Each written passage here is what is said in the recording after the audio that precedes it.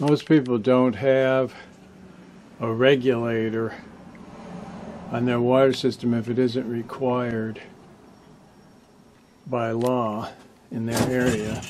But I do. Here's incoming water right there.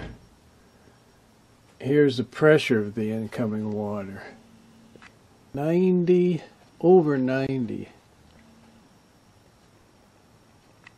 A little bit over 90.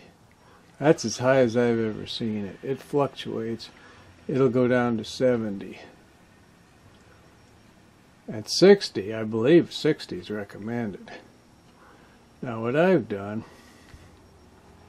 I've got my regulator set at 40, which is, in my mind, it does two things. One, it reduces water usage, and two, it uh, reduces uh, stress on the uh, appliances. Although the second one, I can't confirm, but the first, the reduced water usage, I'm almost certain is true.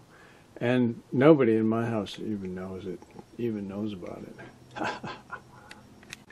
I will mention that I, or need to mention that I do remove the flow limiter from all my plumbing fixtures, which usually it's kind of a washer with a small hole in it.